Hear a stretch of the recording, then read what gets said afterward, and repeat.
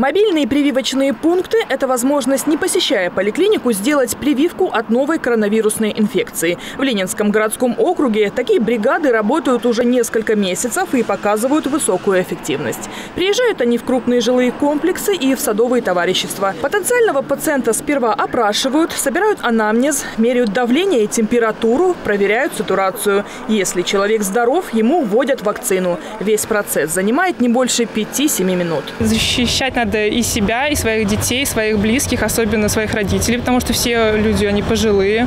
А так как э, ковид поражает органы дыхательной системы, сердечно-сосудистой, необходимо обезопасить своих близких. Сегодня в мобильных прививочных пунктах ставят только «Спутник Ви». Препарат хранится в специальной морозильной камере при температуре ниже минус 20 градусов.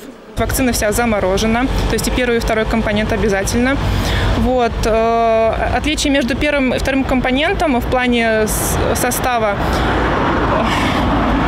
Э, считается то, что э, во второй немного больше вирусной нагрузки, потому что первый компонент человек знакомится организм с этой вакциной, вот, а вторая это закрепление результата и выработка более большого количества антител. Сегодня у прививочных пунктов уже не так людно, как в начале лета. Врачи отмечают, те, кто хотел, сделал прививку уже давно. Теперь жители возвращаются в основном за второй фазой препарата. После прививки считается, что иммунитет немного ослаблен, поэтому контактировать с инфекционными больными ни в коем случае не надо, надо себя обезопасить, то есть э, соблюдать режим, то есть э, правильно питаться, заниматься спортом, если есть возможность. Через 21 день бригада мобильного пункта вакцинации снова вернется на это место, чтобы люди, которые сегодня получили первую фазу препарата, смогли закончить прививочный процесс.